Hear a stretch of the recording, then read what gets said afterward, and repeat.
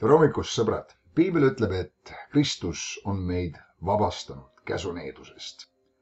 kui ta sai needuseks meie eest, sest neetud on igaüks, kes puu küljes ripub. et Abrahami õnnistus saaks paganaile osaks Kristuses Jeesuses. ja usu kaudu saaksime vaimu tõotuse kätte selle, mida vaim on tõotanud. ja see on siis Galaatia kirjas kolmas peatükk, ma arvan, salmid kolmteist, neliteist, viisteist äkki sealkandis ja kui me räägime needusest, siis selles Vana-testamendi võtmes, kus me seda loeme, see needust iseloomustas peamiselt kolm asja, see oli, see oli vaesus, haigus, surm.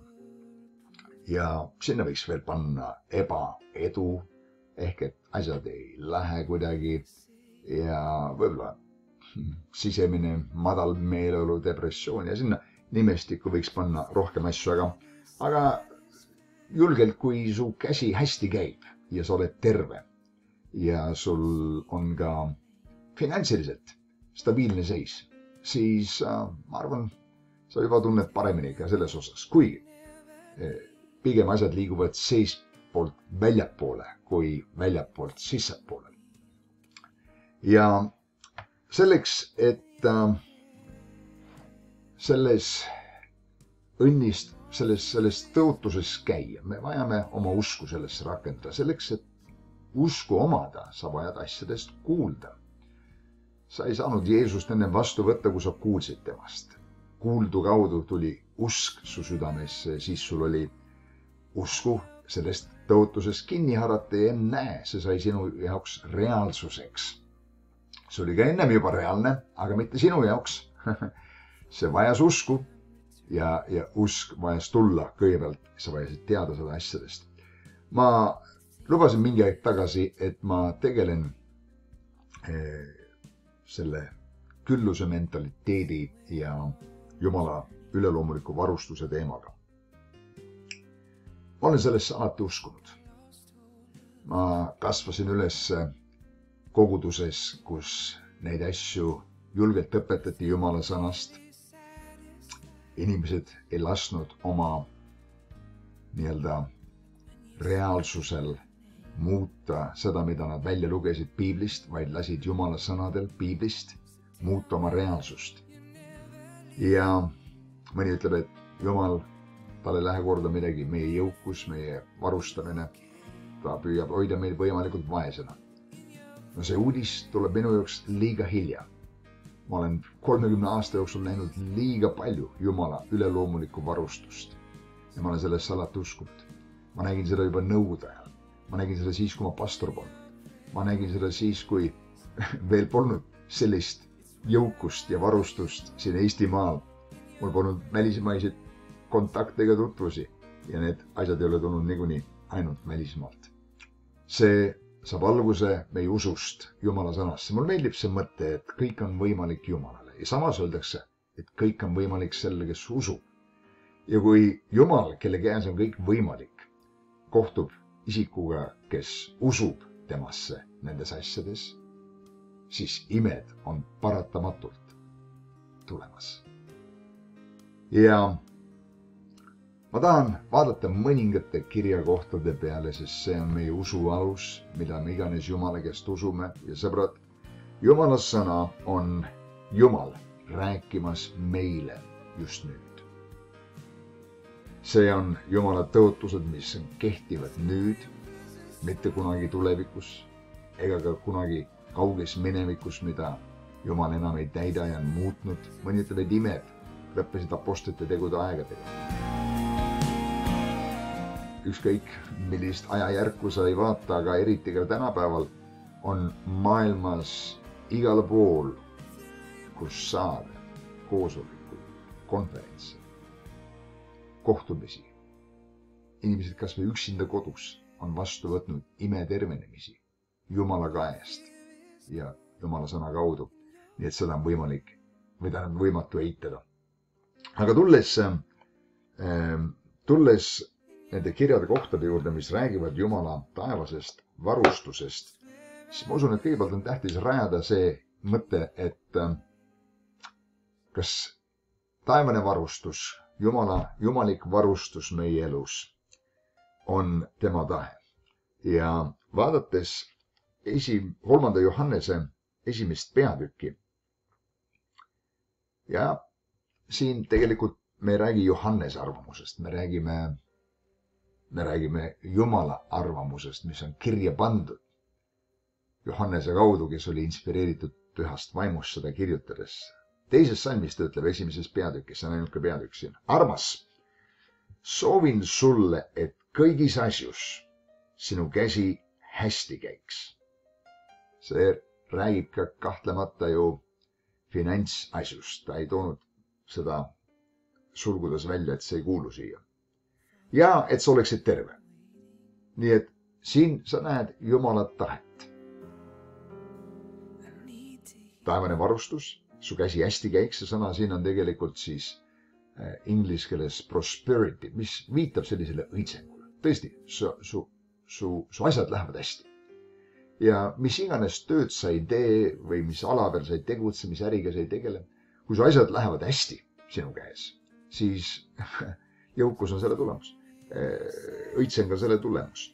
ja me ei räägi siin, et jumal tahab kedagi teha multimiljonäriks, miljardäriks või kuigi ka see ei ole, võib-olla mõne inimesel on see tema spetsiifiline kutsumine, siis sellel rahal on ka mingi eesmärk, miks see Jumala käest tuleb, sest pea meeles, sa ei saa saada rikkaks Jumala poolt. ilma selleta, et sa oled valmis saama rikkaks Jumala heaks. milleks ta selle mulle andis? Kas ma olen valmis seda nüüd tegema? milleks see mulle anti? see ei ole ainult minu mugavus, see viimane asi jumala mõttes lihtsalt sinu mugavus. nüüd ma istun selle otsas, naudin oma elu, istun sohva peal, söön popkorni, joon Coca-Colat, naudin oma elu, sest mul on nii palju varustust.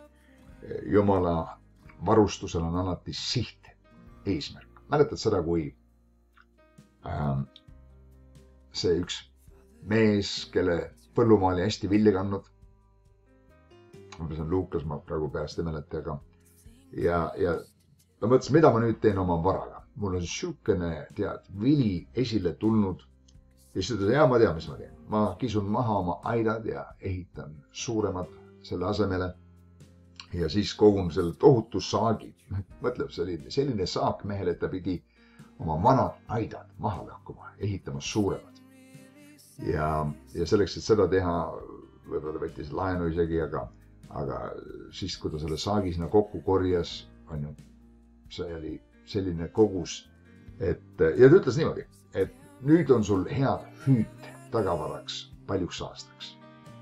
et naudi nüüd, ole rahul hing, naudi, enjoy. ja siis Jumal ütles tema kohta, see oli Jumala kommentaar sellesama mehe kohta, et sel samal ööl, kui ta oli ilmselt lõpetanud oma oma vara kokkukogumise ja sellele hinnangule andnud, kui palju seda nüüd on. ta ütles, sel samal ööl nõutakse sinult sinu hing. paljud inimesed on õhtul läinud magama, hommikul enam mitte üles tõusnud. süda jäi seisma. surid unes, muidugi hea viis surra, ma arvan see ei ole mitte paha viis surra, aga, aga point on selles, et äh, selle mitmeks aastaks hüvang ja nauding jäi kõik ära ja mäletad, mida Jumal ütles talle? kellele saab siis see, mida sa oled soetanud? kas pole huvitav, et Jumal ei olnud vaimustunud selle mehe võimekusest teenida nii palju raha ja olla nii edukas ettevõtja ja, ja, ja, ja kiitnud teda kõige selle eest, et vau sa oled super töö ära teinud, sa oled ikka, sa oled ikka rikaste top esikolmes ja märkimisväärne, väga võimas, täiega vägev vaid ta küsis, et kas sina oledki selle raha lõppeesmärk? ta ütles, kellele saab siis see, mida sa oled soetanud, nii et jumalat huvitas, kes on või mis on selle varustuse lõppsihtmärk. et ei tundunud selles küsimuses olevat, et see mees oligi see lõppsihtmärk, kellele pidi see saama. et seal oli kõrgem missioon selleks, kas pole nii? E, rikas mees, kes tuli Jeesuse juurde, rikas noormees. Jeesus ütles talle, et muidugi rikas mees kõigepealt küsis, et mida ma peaksin tegema, et ma igavese elu päriksin.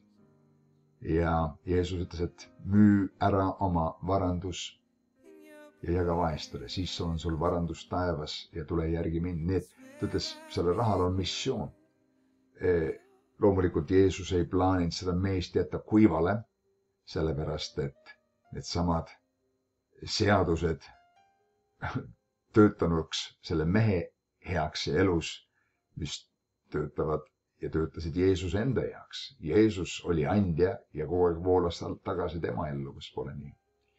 nüüd me tuleme selle juurde hiljem, aga siin on Jumala hinnang asjale. armas, soovin sulle, et kõigis asjus, pane tähele, kõigis asjus, piiskop Märt Vähi ütleb, et kõik on kõik.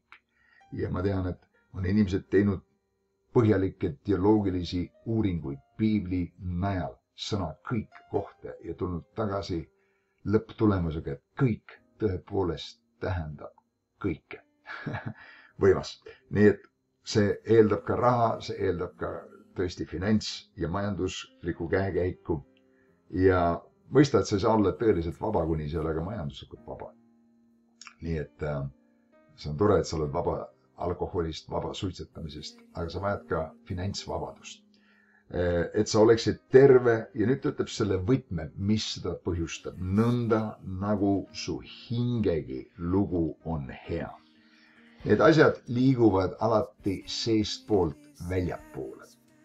kui sul on küpsust seesmiselt, sul on otsuse julgust, sul on finantskirjaoskust, sul on kogemusi, sul on oskusi, sul on võimet hinnata olukordi ja asju, sul on teadmisi ja, ja, ja, ja, ja, ja lihtsalt andekust selles valdkonnas tegutseda ja lisada sinna jumala arm ja nii edasi, siis see seesmine varandus põhjustab lõppeks ka varandust füüsiliselt. Ükskõik, mida sa hästi ei oska, mingi oskus, see oskus on sinu sees, see on sinu oma. et äh, maalikunst või mis iganes kui sa teed seda väga-väga hästi, inimesed nõus selle eest maksma, kes pole. kui sa hästi ehitad, hästi krohvid, inimesed maksavad selle sulle, sulle selle eest hästi.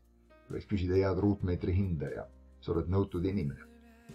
ükskõik, mida sa teed, muru niitmine, kui sa teed seda hästi, sul on alati tööd, kas pole nii. Nii et see oskus, see and, see seismine kvaliteet, see, et sa oled lojaalne, see, et sa teed hästi tööd see seesmine hingepoolne asi mõjutab sinu välist käekäiku kahtlemata. nii et teeme kindlaks selle, et me nõustume Jumala eh, hoiakuga. armas, soovin sulle, et su käsi hästi käiks kõigis asjus või nagu inglise keeles öeldakse, et sa võiksid olla edukas prosper, õitseda, et sul võiks olla jõukus kõigis asjus.